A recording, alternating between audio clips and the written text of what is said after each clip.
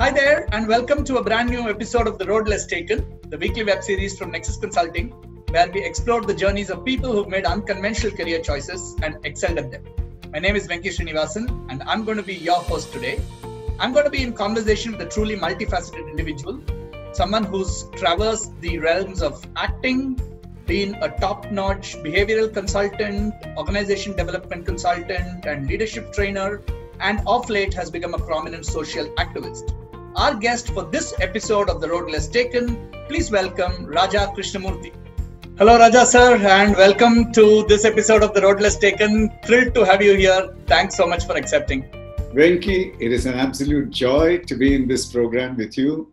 Uh, I mean, I, when I see you out there, both nostalgia and also, uh, I must confess, you know, the youthful energy that you kind of, uh, ins- you know, you bring, you bring along with you. Very, very happy to be with you, Venky, on this program. Thank you, sir. So I'm going to start the journey uh, by asking you. You wear many hats today, but let me take you back to your childhood. When you were growing up and when you were studying, what were your typical ambitions as a kid? And did any of these things that you went on to do later, did they manifest in your early age? good question. Good question. Uh, before I come to that, I want to appreciate you for the title that you have for this program, The Road Less Travel. It's one of the best books that I've read. Uh, in fact, it's one of the top 10 books that I always keep with me by Dr. Scott Peck.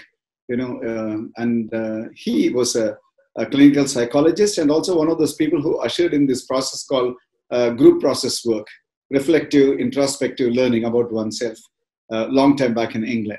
Uh, so I admire him. So I like the title of your program.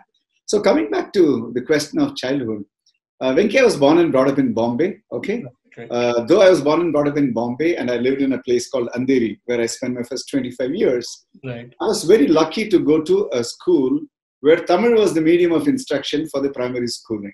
Passion for Tamil as a language began much earlier in life. Number mm-hmm. one.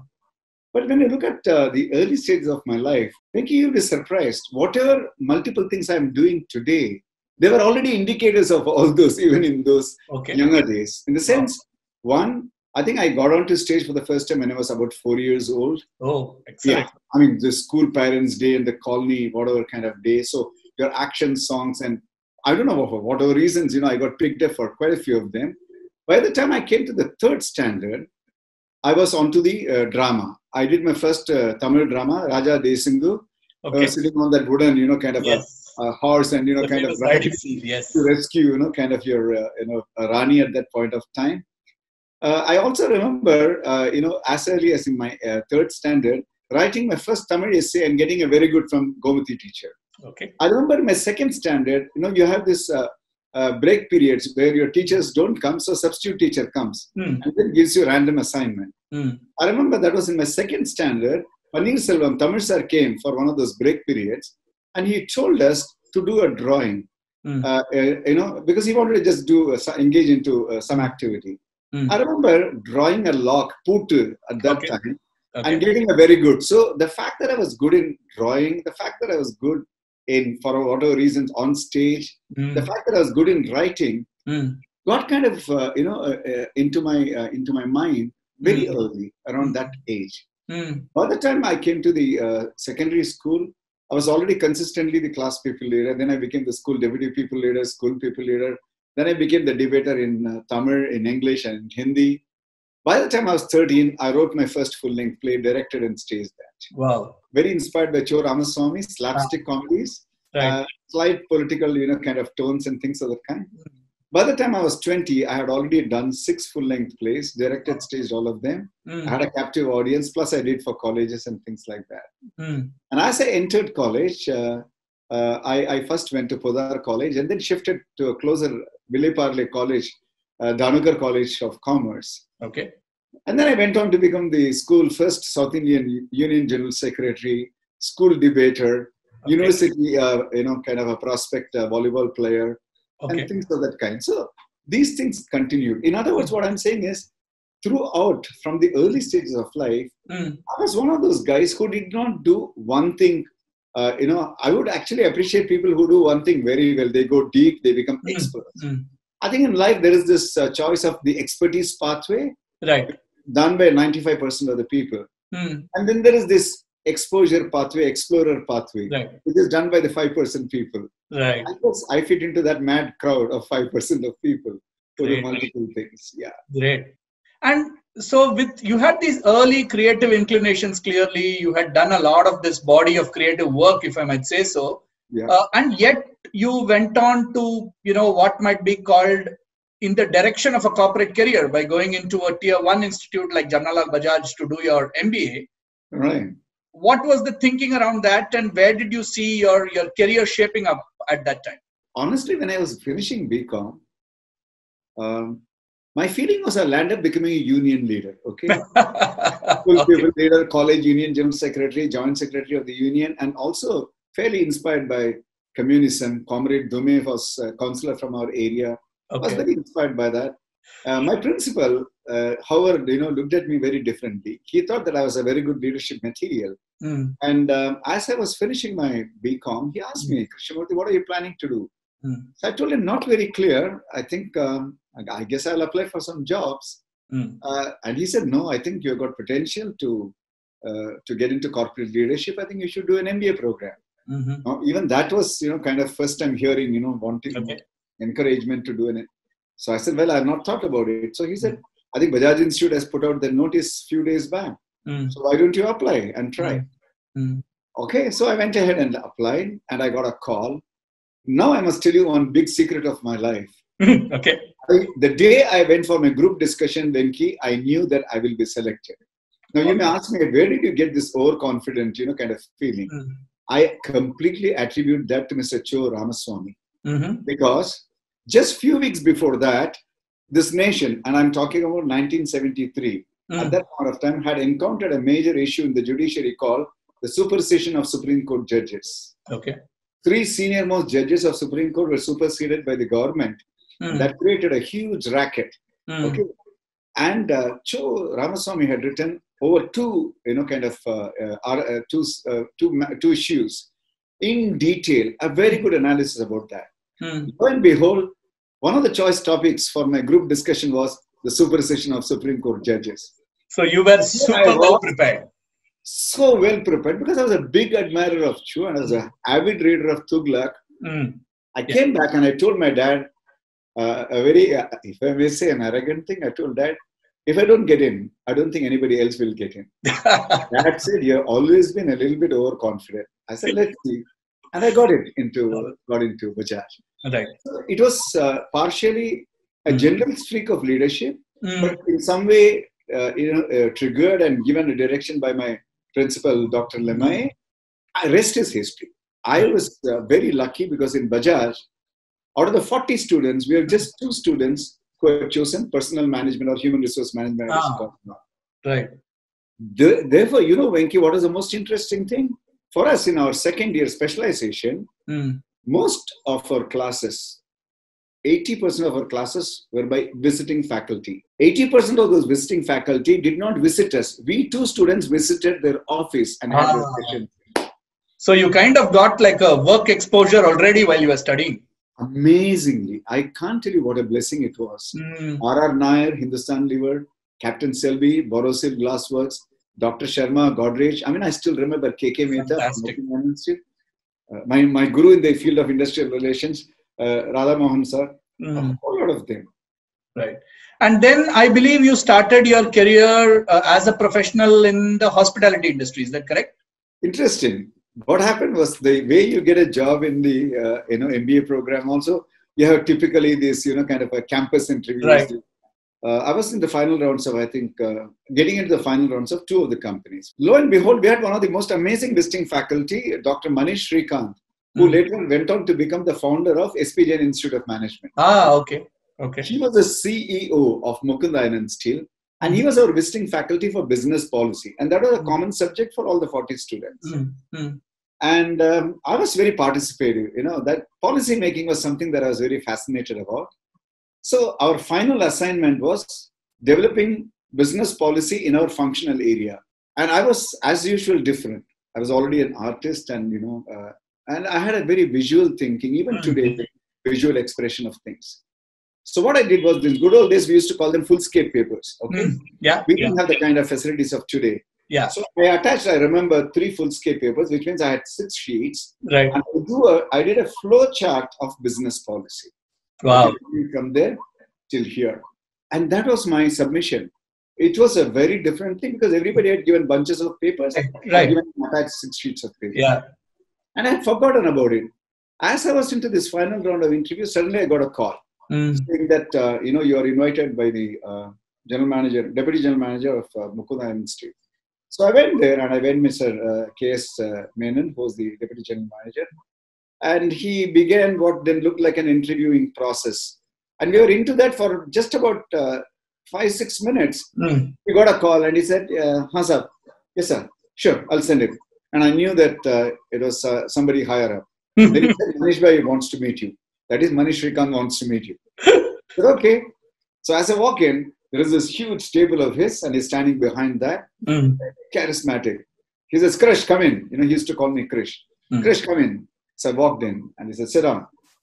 Then there I see on the top of his table the pile of all our assignments, and on the top of it, the spread sheet. He said, Krish, I like your paper. I said, thank you so much, sir. Truly appreciate that, but I really want to challenge you. If you can put into place 10% of what you've written here, Mm. you would turn out to be a damn good personal manager, he said. Wow. I said, uh, it'll be a pleasure, sir. Mm. So he said, okay, no compromise on two things. One, on the quality of work I expect out of you. Mm. Two, on the salary we offer. Interested? I said, of course I'm interested. That's all. That was the interview. That was the interview. Wow. Fantastic. Great. and I think in uh, six months' time, as against two years of being a management trainee, Mm. Confirmed as a personal officer because of the good work that I put in. And then this great thing happened. ITC called me Mm. and at my young age of 24 and a half, offered me the position of personal manager of Chola Sheraton. Chola Hotel. Wow. Chola Hotel at that time. In Chola. Hotel. Yeah, the famous Chola Hotel. Yes. Chennai. I had not even thought of moving out of Bombay. Right. Bombay was in my blood. Bombay was in my breath. Bombay was in my soul. But you know, it came. And at the Yes. age of before 25, becoming a personal manager looked like a huge thing as a title. Mm. I said, okay, Mm. that's how I became a personal manager of Chola. Chola. And I stayed there for almost five years, initially for three, three and a half years as a personal manager, then as the regional personal manager or the regional resource south, uh, and um, worked for about five years. And by about 30, I wanted to become a consultant. So that's how it happened. And, and that uh, very serendipitous move to Chennai also launched your uh, your career in film. So when I was the personal manager of Chola, you know what happens when you're in a management institute is that you are in touch with your own group, but you're also in touch with your senior group when you're in the first year. First year. You're in touch with your junior group when you're in the second year. Right. So I had in my second year Ashok Swaminathan, one of the guys from Chennai. Mm. Uh, and of course, Achu had his contact with his next year. So one of those days when I was in the hotel, I got a call from Achu saying, that, "Hey, I'm in Markara restaurant. Okay, Mm. I got a, uh institute mate with me. Mm. Uh, so why don't you drop in?" So I Mm. went in, and then he introduced me to the other friend, G. Subramaniam, and uh, we, you know, kind of became friends. Mm. Uh, so we became friends, and he used to drop in. He was working for a financial consultant at that point of time. He had done finance from Bajaj. Mm. He then knew that I was interested in uh, writing because by that time I had already started writing short stories in Tamil. Okay. I'd done about half a dozen short, short stories, or Okay. Novel. At that point of time, he shared with me that he was also interested in writing. And when he knew that I was interested uh, not just in writing, that I had done six plays and directed and staged, Mm. he shared with me shared with me his kind of vision of wanting to script and you know direct films and things of that kind. So interestingly, Venky, we started uh, working on some story ideas and all that. Okay. We used to call that as one-liners of stories. Okay. I think we landed up uh, between I think 79, 80, 81. We must have worked on some six, seven, you know, kind of one-liners. Uh, Okay. Like that.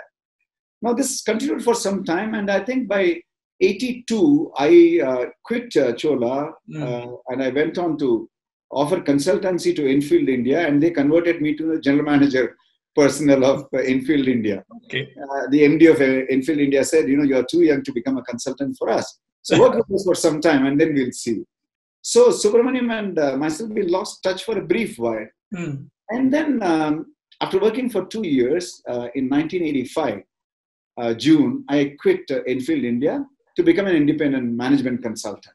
I had this romantic idea of wanting to be on my own. Mhm. Um, so I was on my own 85 uh, end, uh, Subbu met me again and he said, Look, uh, one of the scripts that we worked on, uh, which was Divya, uh, I'm making that into a film. Why don't you uh, work with me now that you're on your own with your time management? Mm. I said, Sure, because I knew it was a good script. And I said, Yeah, we'll work. Mm. Unfortunately, I could not find the time to do that because just then my consulting work, Okay. training work, Just kind of picked up. Yeah. Mm. I felt very sad, you know, I could not do that because at one level, that was in my heart. From Mm. childhood, I've done that. 86, then it was, 86 N, he came home. Besant Nagar, I was staying in. And he said, uh, You ditched me last time. I said, I'm so sorry. He said, But this time, it was a very good project. I want you to work along with me. Mm. It's about Bombay. It's completely based of characters from Bombay, the language, the culture, the dialogues. There's so much of scope of work for you to do. Why don't you work? I Mm. said, Mani, this time, I'm not just saying yes, I'm doing it. Right. 21st of January 1987, first day of joining shooting. Of course, we did the script discussion, Right. many other things earlier, like before. Yeah. So that was the first day, and this good friend of uh, mine, uh, G. Subramaniam, is none other than Mani Ratnam, whose photo is right to you. The film is none other than Nayakan, the famous, uh, you know, kind of benchmark film. By the way, Divya was the uh, script title of Mouna Ragam. Honorable. Yes. Yes. Of course. Fantastic. Fantastic. Uh, and then. By uh, the way, I still have uh, the blue notebook where I'm very lucky to have in Mani's own handwriting the you know kind of a one-liner of uh, Pallavi Anu Pallavi. I wow. have the one-liners of uh, Divya. I still have the notebook. Fantastic, fantastic. Those should someday go into the National Film Archives or something because it, it kind of launched a revolution in India in Indian cinema. So, what has your what has your acting career given you? I mean, apart from, of course, you know, you you are a recognized face and all of that, but what has it given you personally? Okay, so uh, let me also put this in perspective. Um, so we're talking about uh, 1987, okay, getting into Nayakan, and I think Nayakan, as it finished by July, I think by August I got the offer to act in Satya. Hmm. Satya launched me as an actor in a, in a fairly big time Right. because that was the main villain's role in a Kamal Haasan film. Right. And that character, the suave, smiling, uh, Mm. you know, kind of cunning villain, Hmm. was a very different kind of a brand. Mm. And once that got released, films kept coming, and I kept doing in multiple languages. Hmm. And over this uh, 30 years plus, uh, 33 years now, I've done closer to about 80, 85 films in Wow. multiple languages uh, Wow. Telugu, Malayalam, Tamil, and of course Hindi. Hindi.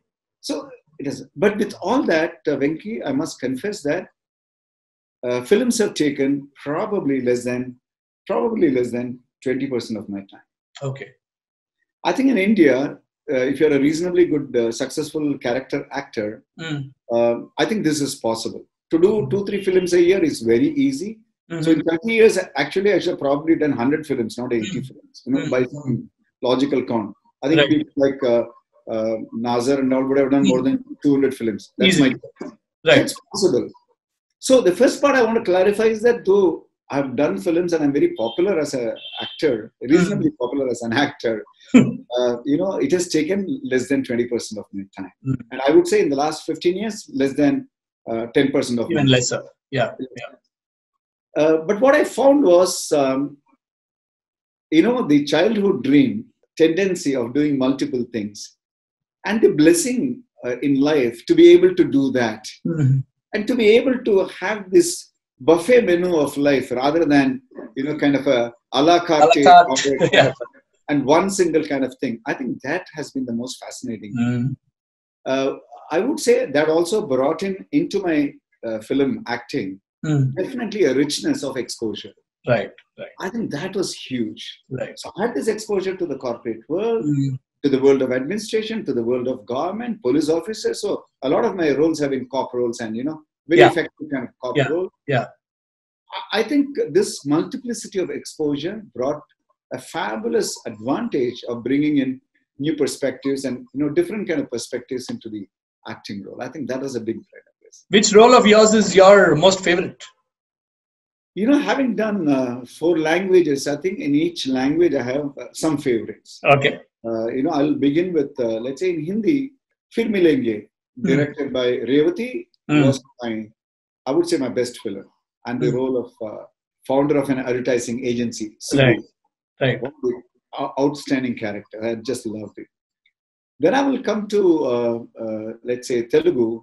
And um, I would say that uh, one of the recent uh, ones, uh, which I did with Allu Arjun, was one of the smallest characters, uh, but the main villain character. I did work only for three days, but one of the biggest hits. I Ah, don't even know why it became such a hit. very nice. I would say that uh, two, three characters in Telugu, especially one that I did with Guna, Mm. uh, Gunasekhar's first debut film as a director. I did a cop role, and I loved that. The other one was with our great Dr. Balu, our Baluendra sir, Ah, Chakravyuham. That villain role was stylish, and that was the role of uh, the culture minister, Hanumantarao, mm, where actually this guy, this villain, uh, has a you know kind of a two face. Mm, Uh, during the daytime, he's the cultural minister, okay. and during the night time, he wears a wig, dresses up as a youngster, and uh, goes around, you know, hunting for women. I think Mhm. those characters, those two, I, I, I- would rate as uh, some of the best. Then comes uh, one of my very favorite languages, Malayalam. Malayalam, yes. Oh, Malayalam, I love the language, and of course, I love the filmmaking of Malayalam itself. The best one is um, uh, with Bhadran sir, Mm, okay, where I did the CBA director's role with Ah. Vijay Shanti as the heroine of that film. Yuvathurki, that was the title of the film. mm, That was the best. And the other one, of course, I've done with uh, Lala also, uh, Mohanlal sir also, four films. mm. Olympian Anthony was one of my very big favorite films. Again, a cop role. I was the commissioner of police. Right. Which brings me to the Tamil films. Yes. Of course, in Tamil, there are some awesome roles that I've been, you know, kind of lucky to get. Uh, honestly, uh, Venky, I must tell you that sometimes you do outstanding roles. Mm. Those films don't become very big hits. Commercial hits, yeah. You got to Mm. know, always balance this factor in Mm. life. For example, uh, the kind of roles that I've done in film like Ananda Tandavam, Mm. it's a Sujatha novel, Right. just made into a film, Ananda Tandavam. A film called Dinandurum by a debut director, Nagarajan. The kind of characters that I've done in those films, the fil- character I've done in Raman Abdullah for Balu Mahendra sir, Mm. Mm. I would say they're some of the awesome kind of characters that Mm. I've done. Mm. But if you really look at the combination of awesome characters and which also became very Commercially well known, yeah. commercially well known, I think straight away, I think uh, Baasha, the commissioner of police, Of course. is the all-time, you know, Yeah. kind of, pinnacle Yeah. of roles that one could do. Right. Then uh, the uh, the role in Bombay, Bombay. I was just going to say that. Yeah. It's one of my favorite roles of yours. okay, uh, uh, Bashir Bhai, I would say that it's so Yeah. close to my heart. Yeah. Yeah. So there, how that's how it goes. Uh, Fantastic. So I'm going to now ask you about your um, what takes up possibly the largest amount of your time uh, of late, which is all your work around uh, uh, OD leadership, leadership training, and so on. Mm. What is your approach to this? What what what kind of methodologies? What kind of innovations do you bring to the table? Because it must be very challenging because you deal with companies and people of all kinds from all over the country, possibly all over the world, many cultures, many sizes, many challenges. How how do you kind of you know interweave all of those? Yeah. Um, you know, it's a been, it's been a fabulous journey. Now, this is what this is the 35th year. Okay, June uh, 2020 is the 35th year of being an independent consultant. Uh, it's a broad definition, organization development consultant. So there have been, you know, part of these journeys uh, have included uh, shades of being a, a, a trainer Mm, and a, a large amount of uh, advisory work as a consultant, mm, a fair amount of work as a leadership coach and a Right. mentor to organizations, right. and a whole lot of things. Um, uh, so working in multiple areas related to the Mm. organization. Venky, I would first begin by saying that I was so blessed to have awesome teachers, Mm, gurus in my life. mm, So I would say that their, you know, kind of, uh, you know, hand uh, on my shoulder has been an uh, amazing, amazing kind of a gift to build clarity and perspective about many things of life. I would, in particular, talk about uh, uh, KK Mehta, who did the initial exposure to, uh, you know, human behavior for me, and I think the first steps into sensitivity training. And I think very soon, in the next few years, lifelong journey with uh, Dr. Pulin Garg from IIM Ahmedabad, who is my guru in the field of organization behavior. uh, this whole area of conceptual clarity and the ability to create frameworks Mm. awesome nature. Right. I think that's a gift because I believe that in that uh, it happens through me, but I'm not the person creating it because some of them are such interesting, mind-blowing kind of you know concepts and ideas. Some of the models that I brought in on transformational leadership are really path-breaking, and I think I would, they have over these 25, 30 years stood the test of time, uh, have benefited organizations immensely, and therefore you know it has kind of worked.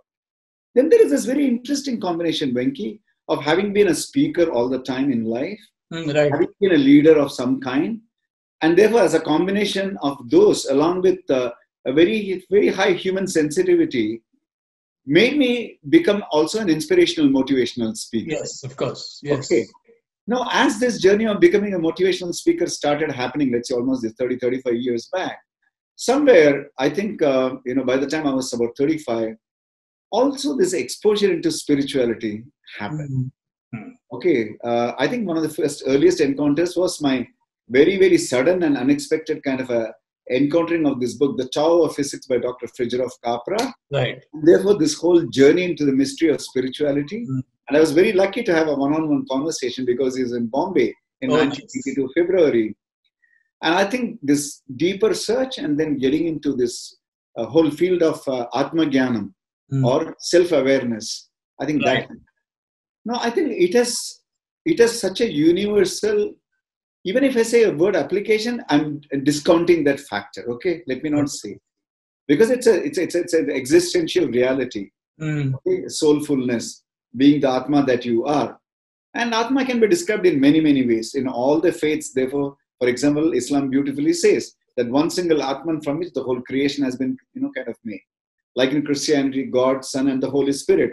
And they talk of the holy spirit living into the soul of each human being Mm. and the same thing the paramatma and the jivatma concept in hindu i think with that also you know kind of becoming part of life i think life became incredible so i would say that the whole perspective of consultancy the whole perspective of training the whole perspective of motivational talks the whole perspective of coaching the whole perspective of social activism Mm. all of them got founded on this fundamental spiritual understanding of the human being and then developing further from that a concept of a dharmic world a world of collaboration a world of coexistence a world of brotherhood this immense capacity that all of us to live a life unlimited okay Fantastic.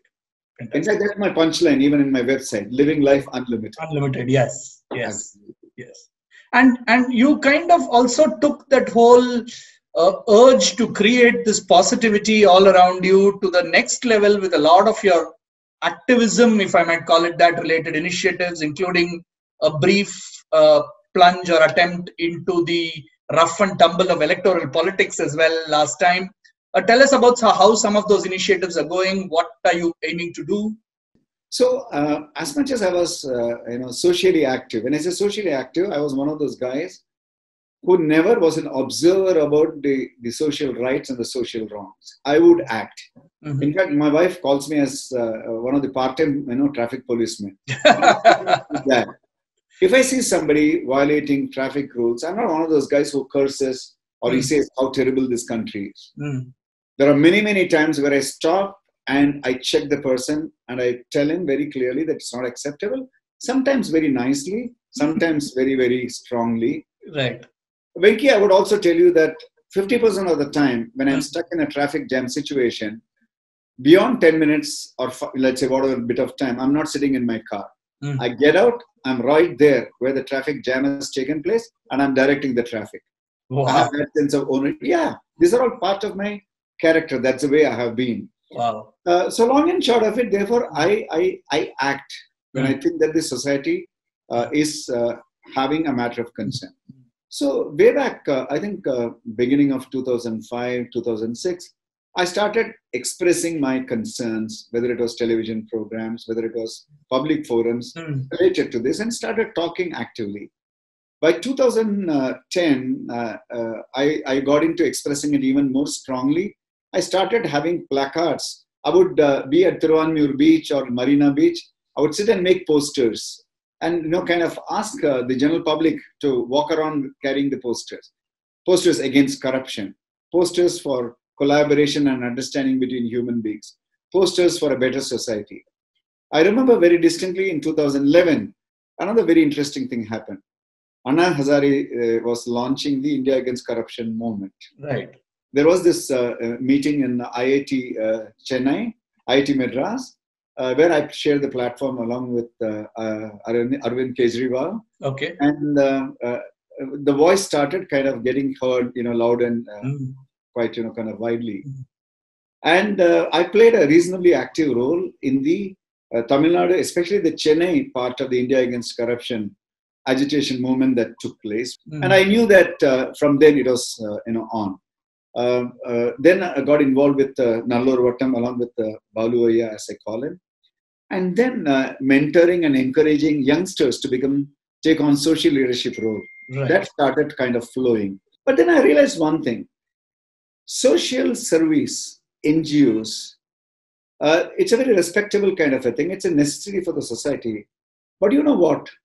Uh, unfortunately maybe across the world but definitely in india ngos and social service organizations are like ambulances you have accidents, you have emergency, you go to them. Mm. So somewhere, you know, they play that role, but they play the role for the exceptional situations. Right, right. Society doesn't get influence. Society doesn't get change. But then you realize that proactive change is possible only in one way, and that is through electoral politics. And I was really wondering as to why, especially in Tamil Nadu, the electoral politics has so much of, if I can use the term, essence of hate mm. and you know kind of doubt and distancing because i find it very very strange having lived in multicultural societies like uh, maharashtra having traveled across the country having worked in multiple language films why is this intensity of hate and perpetuation of doubt and distance in tamil nadu was a big question mm. and i realized that there is no way i'm going to learn about it deeply unless i dive deep myself get into it yourself. and that was the reason why i stood for election that was the one and the only reason I said, let me get on, let me do ground level campaign, let me shake hands with people, let me talk to them. Right. So when he, I did almost about uh, 90, 90 plus street side meetings, and believe me, the learnings were awesome. I mean, uh, I uh, to summarize that, I can I can only say that I learned very very uh, sadly that the electoral politics of Tamil Nadu, at least in the last uh, 40, 50 years, has been influenced by two strong E factors. Yes. Why they are called E factors? One is an economic factor. Right. How much money get paid right. to the voters and corrupted. Mm. The other one is emotional trigger with hate. Yeah. Emotionally make people hate somebody, doubt somebody, distance somebody. Mm. I think these two things, for some strange reason, had succeeded in Tamil Nadu. And then I became a lot more determined that we must do something to change that. Change this. So I think from 2016, I'm very clearly into this pathway, change the socio-cultural scenario or the canvas, if possible, with a transformative leadership program. I think that's what I'm into. Amazing, sir. Amazing and very, very, very inspiring. You have seen life, you know, in, in its in its richness and its glory, and you have so much so many insightful experiences. Today we are in a in a really possibly what has been the most challenging times for humanity for quite a while across the world. Uh, what is it that you would tell people today, especially you know young people out there in in this current situation of the of the COVID pandemic and um, you know all of the uncertainty that looms all over all around us? The world has been caught up with what I call as the objective material reality too intensely especially in the last couple of centuries. And what you see now is the manifestation of the ultimate level of insensitivity brought in by this objective material reality. Now, what do I mean by objective material reality? Because the objective reality or material reality is determined by only three factors, essentially value for time, value for quantity, value for quality. That's what makes an objective reality or a material. And our normal understanding is as far as time is concerned, improvement is when you are faster, you are better. Mm. When it comes to quantity, the idea is you, there is improvement when you have more than more, before. Yeah. About quality, it is about better quality than before. Right. I'm saying so far, perfectly okay. But these things can exist provided there is a deep human sensitivity Mm. and there is a respect for the integrated, you know, kind of reality of what is called as dharma. Very beautiful term. Dharma is the holding of things in balance. Now, what happens is when you lose the human sensitivity, when you lose respect for nature, when you take environment for granted, Mm. the same element, three elements, they go haywire. Instead of speed, you get into haste. Mm. Instead of growth, you get into greed. Mm. And instead of better quality, you get into exclusivity and arrogance. And what manifests into the ultimate levels of these three is what you see in the superpower syndrome across the world. Wow. So, what are the kind of messages that you pick up? You must have the killer instinct to succeed in life. How many times you must have heard this, Venky? very, very, many times. Yeah. Life is competitive. Why are we not telling our children life is collaborative? Love, life is someone something to be enjoyed with love, affection, Mm. extending our arms to each other. Why is why are people not talking about it? Why is every random child, every poor little child from every school, from primary school level up to his, you know, getting into plus two, bombarded with this idea: life is competitive. You better get prepared. You better get prepared. Where is this? hap- Why is this happening? Mm. And the ultimate level of this competitive, you know, kind of myth is when you start doubting your own neighbor, maybe your brother and sister. Ridiculous. I would say, Venky, nature was watching all this. Mm. And this is one of those gentle slaps that it gave to humanity, saying, hey, take it easy.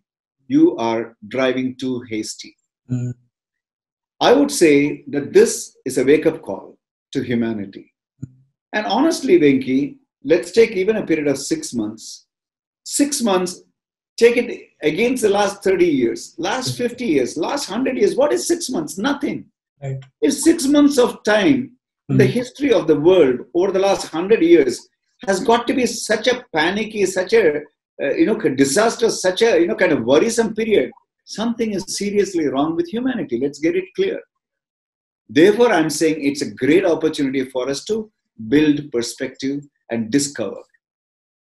And I would say uh, the analogy of the automobile is the most relevant one. Okay. You know, scientifically, one of the greatest findings of uh, for the mankind is automobiles. Mm. But remember, at the height of building the automobile, the scientist or the person who invented, he put a reverse gear. Mm. Life is not all about going forward all the time blindly. Once in a while, pause. If necessary, take a reverse gear. Go maybe half a mile back to find a better pathway to move forward. This is the reverse gear pathway for humanity. And I think it's fantastic. Time for us to reflect.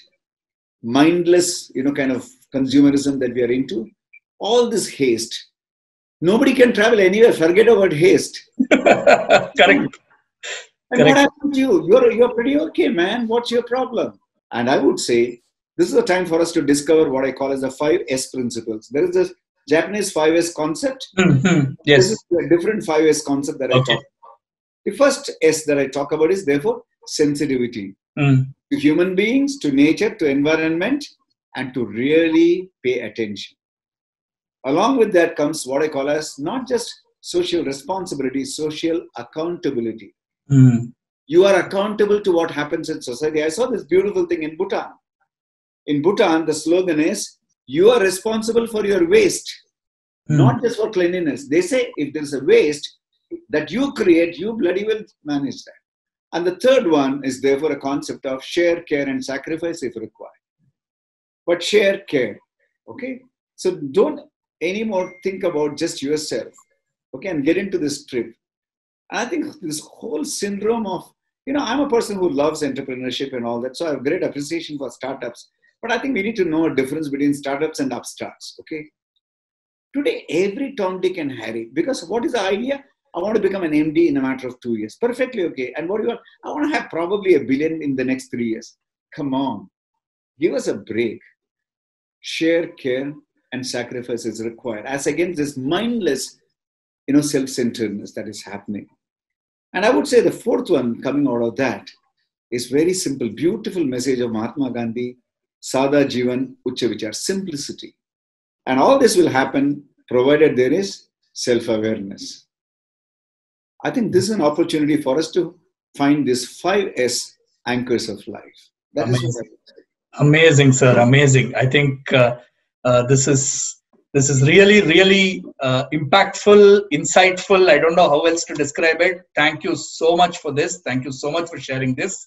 Uh, I'm now going to uh, you know ask you to close this interview and this segment on a on a on a fun note. Uh, please show a copy of the book to our our, our viewers Oh yeah, so we have uh, you know two of them. Um, one is the original kind of thing that I came, and you know the yeah. later part of it. You know these two. So it's uh, called Rajni's Punchtantra. And yeah. uh, by the way, I will first let's get it clear. The credit first goes to PC Bala. I was a uh-huh. co-author, PC Balasubramanian. Okay. So uh, Rajni's Punchtantra uh, uh, was one of those really uh, fun exercises. When I say fun exercises, the process of doing it was such enjoyable one. That's why I'm calling it. Right. Um, and therefore, we picked up 30 punch dialogues okay. of uh, Thalaivar, superstar Rajinikanth Saravar.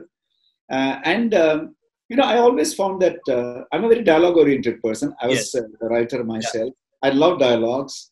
Uh, dialogues have their own kind of special place. Mm. And punch dialogues, mm. Tamil films especially, I think they got a very, very special place with uh, uh, superstar Rajinikanth. Rajni sir, yes. Uh, you know, beautiful. They're like the uh, uh, if I can use the term, Tamil film Tirukurals, okay? Right, right.